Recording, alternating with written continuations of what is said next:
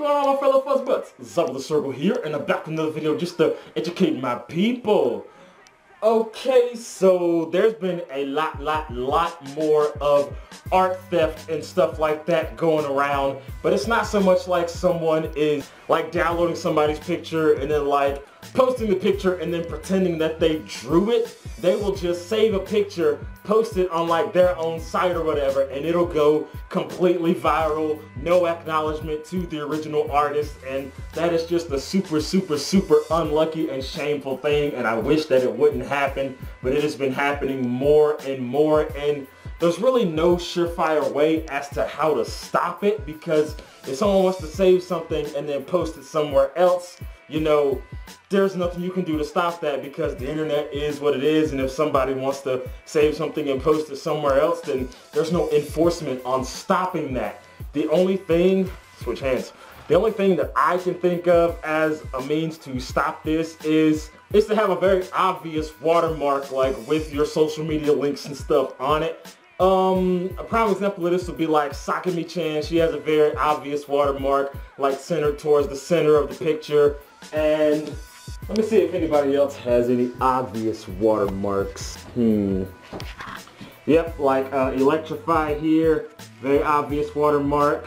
I know on my art as well, I try to have a pretty obvious watermark, which I'm actually going to be in the process of updating that watermark to my 2019 design, just to kind of make a little bit more, like, bold or whatever. But yeah, that's like one of the only things that I can think of as to helping with the whole art theft situation as to watermark your art. And I know a lot of artists don't like to watermark their art because they feel that it takes away from the like the end result of the art. And I can understand that completely, but at the same time, if you are of that level where people are taking your art, then you need to take those precautions to make sure that if somebody posts it somewhere else, then at least it makes its way back to you. And I know there's ways that people can like Photoshop the watermarks out and all that stuff, but the more obvious you make it, the harder it is for that to happen.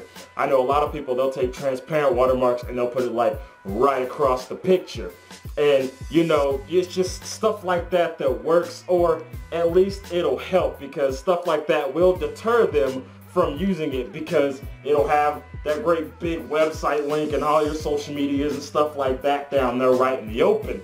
That way, if they do post it, it'll just be free publicity for you. So my advice to you guys, if you're drawing art or if you make art and you don't really put watermarks on your stuff, then by all means, please, please, please do it. I know that my art isn't at that level where people will start copying it, you know, taking it, posting it to God knows where, but I still take those precautions because you never know whenever you're going to draw a fan art piece or something like that and it's going to blow up and somebody's going to want it. They're going to post it. And yeah, if you don't have the watermark there, they don't have to say who it's from or anything like that because there's no proof on the picture. So please, please, please, please, please watermark your art.